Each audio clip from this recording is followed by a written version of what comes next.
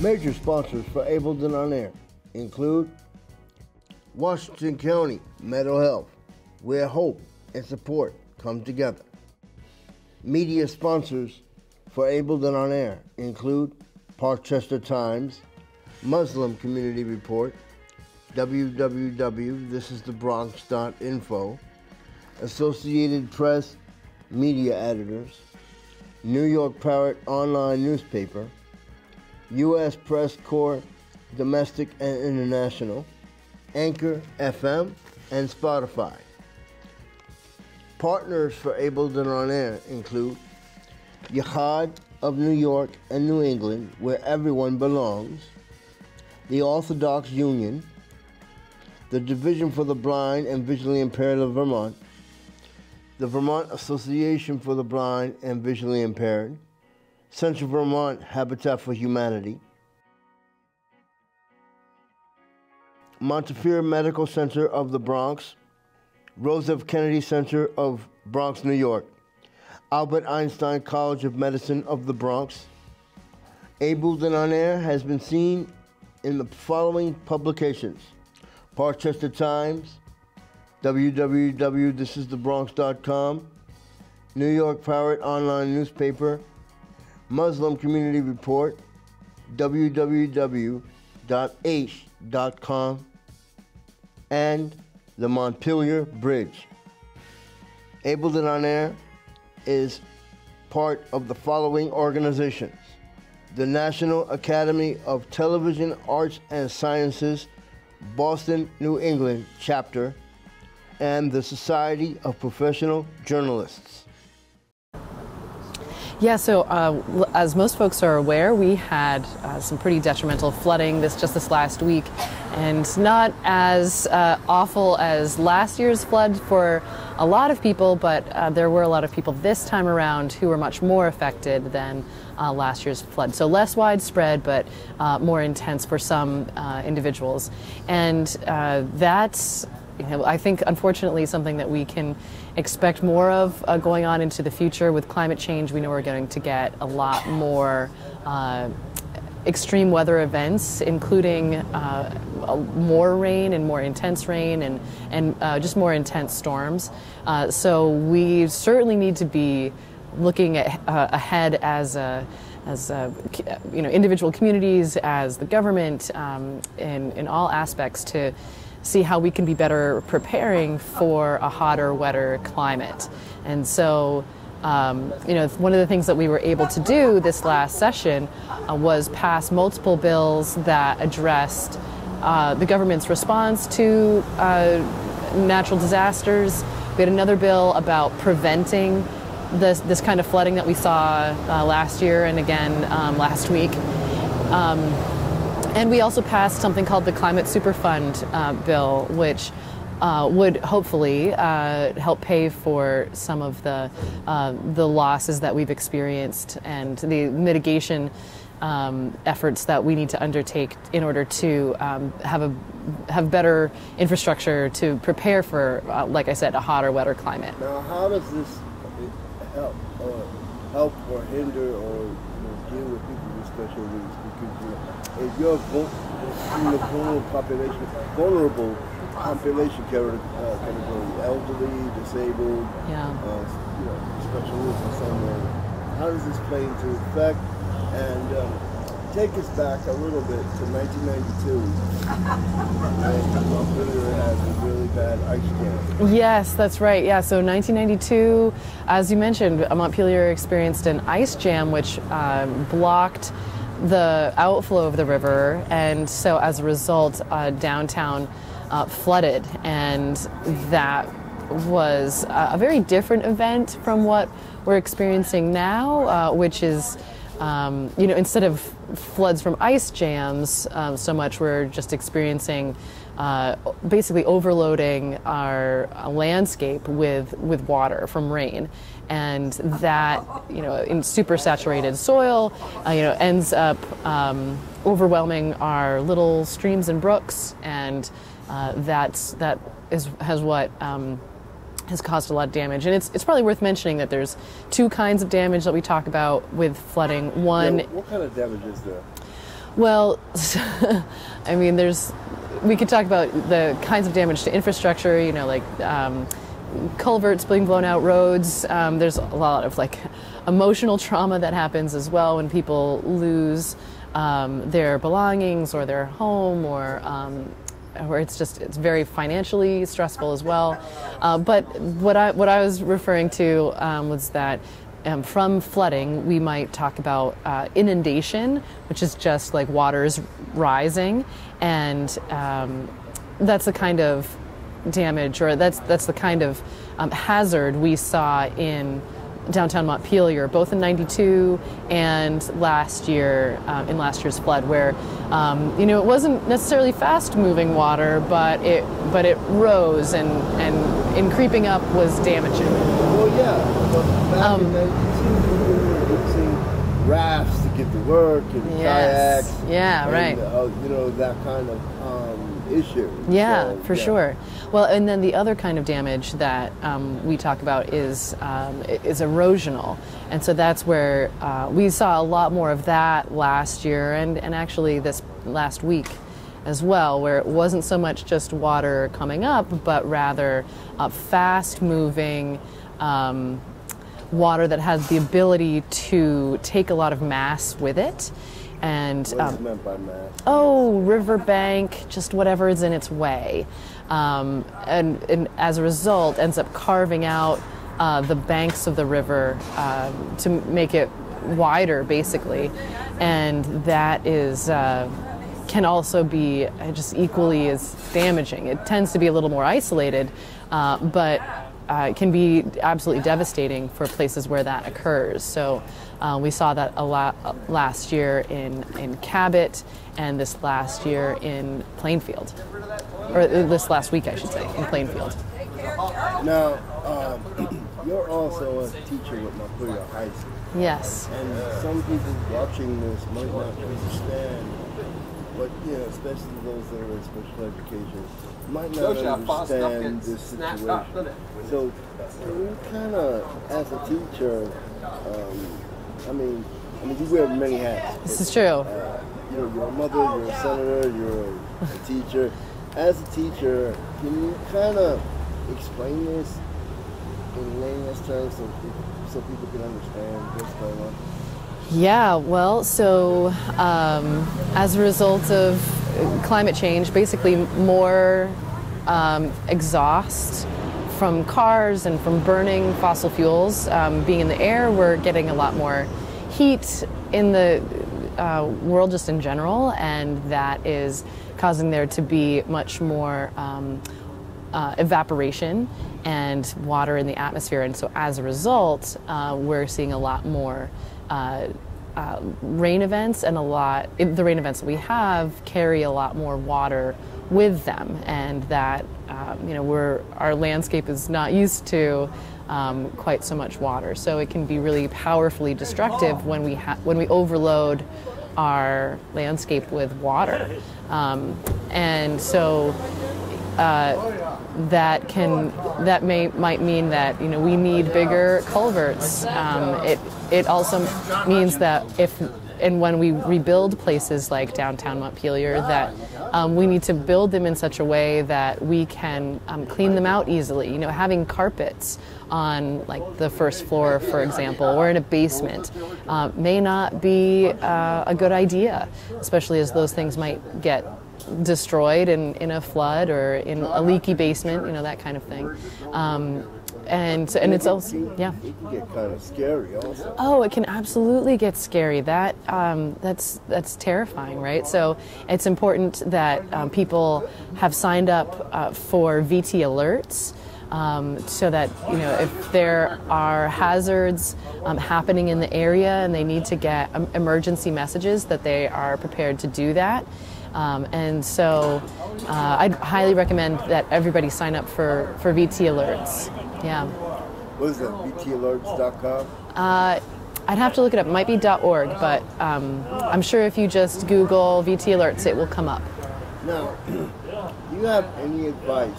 Um, I know we're kind of jumping here, but like, if a person's in, in a real disaster, Mm-hmm. such as flood, and I know you, I know you can't replace stuff. Yeah, It's hard to, you know, life is more important. Absolutely. What is some advice you could give to people who are experiencing this right now? Um, you know, that kind of thing. Oh gosh. It's a to a lot of. Yeah, uh, absolutely. You know, t- for anybody who is experiencing or has recently um, experienced uh, losses from flooding, I mean, um, my hope certainly is that folks are reaching out. I mean, the one of the best things about Vermont is our strength in community, and our, so I, I know that there are people who want to help, uh, who uh, are, are absolutely looking for ways to support our fellow Vermonters. And so, um, you know, don't be afraid to ask for the help that you need, to seek it out. There's a lot of resources out there. You know, being in touch with your municipality or with um, your local mutual aid group, all of those, um, there's, there's a lot of groups that um, might be uh, useful to you um, in this moment, in- including um, counseling. There's, I know that there's some um, uh, some counseling available uh, to folks um, who experienced uh, trauma from the flooding. So, uh, yeah, happy to. If anybody wants to reach out to me to um, get connected with those resources, I'm happy to to connect anybody. Okay. Um, what now? Let's talk about something that is on everybody's minds, or might be on everybody's minds. Dredging. Okay. Yeah. Yeah. Thank you for bringing that up. How, if you don't mind, let me bring it up. How does it help or hinder the situation when it comes to flooding? That's a great question, and I know that's one that has come up in conversation since last year for sure. it up. No, it's okay. Well, I'm glad that you asked it because it's really um, uh, not the kind of solution that um, people might think that it is. Because on the one hand, it might give you some short-term uh, relief in terms of adding capacity to the river. Like, yeah, we need more, like, we're overwhelming the rivers, let's just make them deeper, right? Like, that seems like that would make sense. And it might help in the short term. But what that does actually is it um, steepens the cliffs or the banks of, of a river. And um, it- there's actually a term for it, which is calling um, incising. And as, as a res- actually, a lot of Vermont's rivers are already incised or Is dredging a bad thing? Short version, yes. Yeah, it is a bad thing. Basically, what dredging does is it makes a river unstable and makes it prone to more disastrous flooding in the future. Um, so, if we are looking to live uh, in, a, in a way that is sustainable with our rivers, then um, dredging is not the solution that, uh, that we can rely Okay, on. start. People will pass it. Go ahead. Can we do that again? Sure, the whole thing? Yeah. Okay. About dredging. About dredging. Yeah, dredging is not the solution that a lot of people think that it is. Uh, it does uh, help in the short term in terms of adding capacity to the volume of a river, but it ultimately makes the river unstable because it makes the banks really steep and as a result can make it more prone to uh, catastrophic uh, erosional um, uh, hazards in the future. Uh, so it's it's if we are going to look to live together with our rivers in a sustainable way, dredging is not a good solution. Okay. What is erosion for those that might not know? What is the what?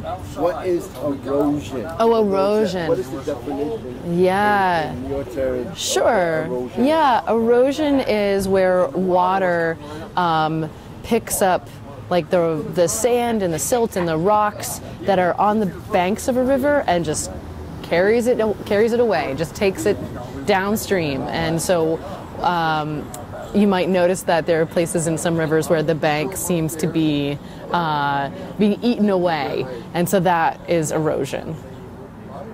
Okay. Um, now, knowing that there are more floods that are going to happen, because sometimes you can't prevent a flood. Yeah. Or can you uh, prevent a flood or make it so that you know horrible flooding doesn't happen too much or happen again. Yeah. Um, what are some ways that we can kind of prepare more for flooding? Sure. So, at a statewide policy level, one of the things that we can do is have um, uh, an increase or better protection for our wetlands. So, wetlands are like, you know, they're like swamps, um, and they uh, act like sponges. So, if we have a big rain event, it's really helpful and important that we have our uh, really healthy uh, swamp or, or um, bogs or fens or um, uh, uh, wetland areas to be able to soak up that water and prevent it from, um, you know, running quickly uh, into places where maybe we would prefer that it not be. Uh, so that is one of the things that we passed last year in the legislature was better protections for wetlands. A second thing is um, uh, having our rivers be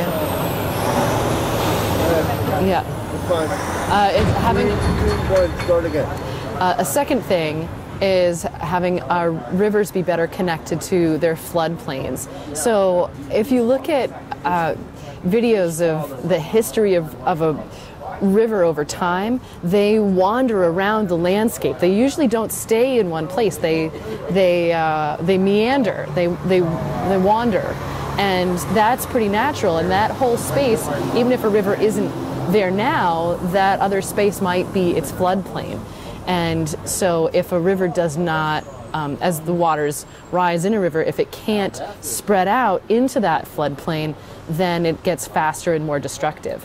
And uh, so there's there have been some projects recently to um, get rivers better access to those floodplains. There was one such place in Northfield.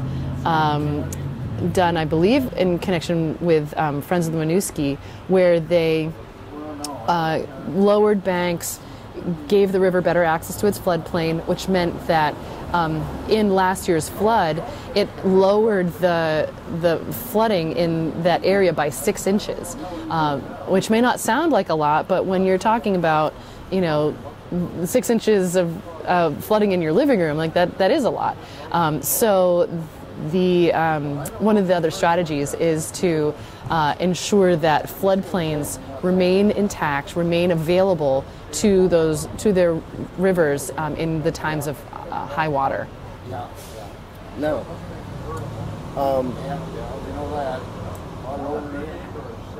you know, uh, is there is so?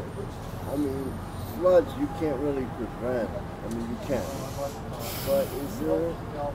Um, I mean, further education.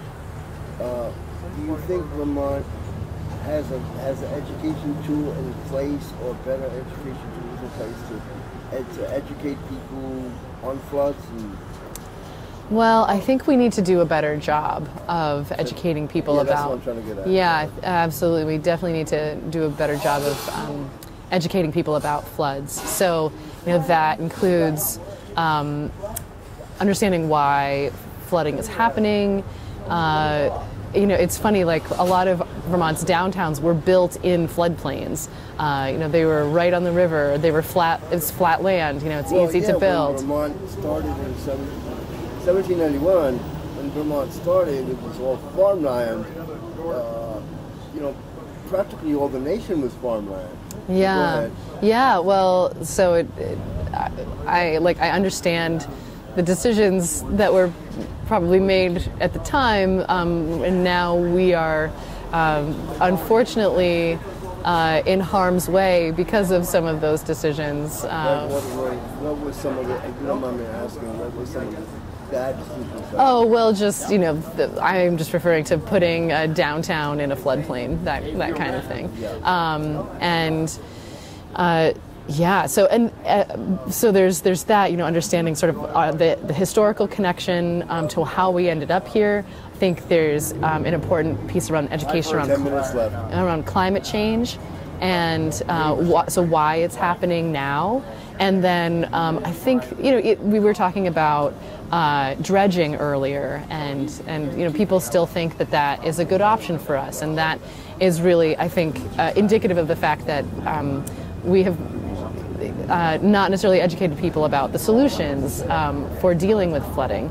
And then I think there's a level of education that needs to happen around how we better, just on a practical level, prepare people um, in terms of the buildings. How are we? How are we um, constructing smartly in a way uh, that's in our floodplains, and how are we um, prepared for emergencies in terms of like having a bag that you can just grab um, if you need to get out quickly. For example, since you said to go back, yeah, what should uh, what should uh, on an educated level, uh, what should a person or put in a go bag? That's a great question. Um, I'm sure there are people who are better experts on this than I am, um, but I would recommend, uh, you know, a bottle of water, um, some uh, shelf stable snacks, you know, things that are going to last, um, and you know, a change of clothes, um, maybe like a uh, like a, like a raincoat. Um, and flashlight, flashlight, extra batteries, um, you know, whatever like easy toiletries you, you might need. Um, that those are some. Um, yeah, those are some, some of the first things I would think of. But uh, I'm sure that there's really good resources out there uh, with better recommendations about what should be in a go bag. But that's where I'd start. Okay. Yeah. Um, what is the future of Vermont when it comes to disasters? And uh, I know we talked about better, prepar- uh, you know, better preparation yeah. and things. But what, you know, going into the future, we're in the 21st century. Uh, uh, are there any computerized? Because I know um, also out west there was you know dams breaking and other things happening. Um, are things basically um, more computerized now, or should should they be more computerized when it comes to uh, preparing for a flood? Well, I think there's definitely better alert systems, um, especially with uh, you know digital communications. I think being able to um, you know push out from the government's perspective, being able to push out alerts to people so that people are better informed about what's um, what may be coming, um, and then with everybody has got their cell phones, you know, um, that's that's a, a, good way for for folks to stay connected with what's what's happening. Now, obviously, there are some people in Vermont that live in rural areas that are off the grid. Yeah, sure. what is your office, or is your office in, doing anything to help uh, get communication during a flood? A phone, computer, maybe those that don't have resources. Are there ways to get those resources so they can stay up to date on um, what's happening?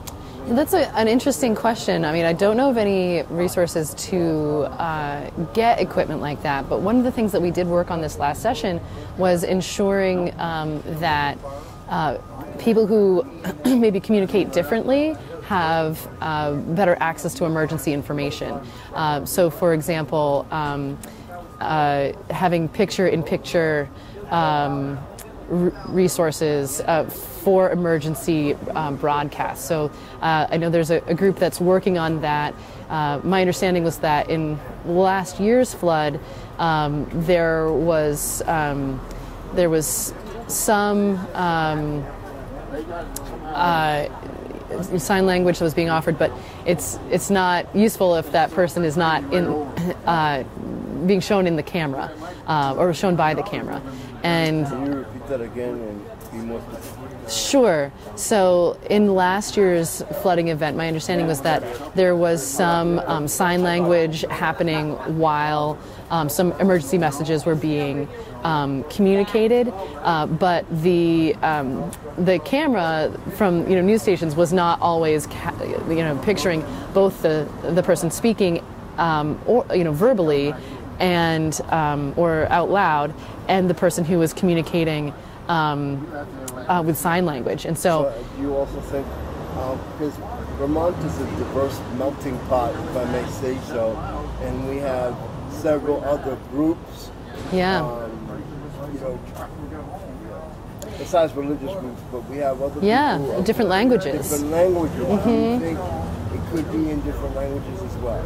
Yeah, and so this is another one of our focuses from this last um, session was um, uh, working to ensure that uh, uh, emergency messages were being communicated in different languages as well. And so again, I know that um, is something that, that people are working on uh, to improve, and so I'll be very interested to see um, the progress that we've made to um, you know, see what further work needs to be done.